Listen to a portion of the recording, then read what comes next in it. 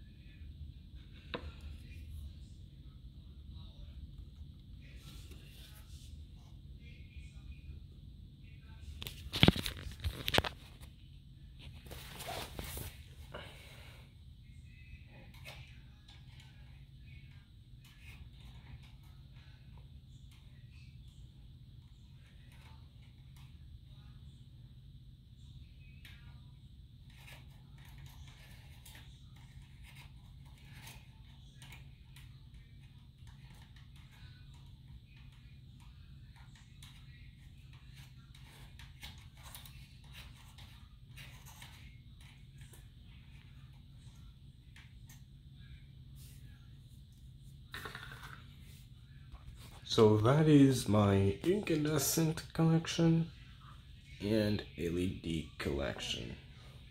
I am gonna get more gate lights in the future. See you in the next video.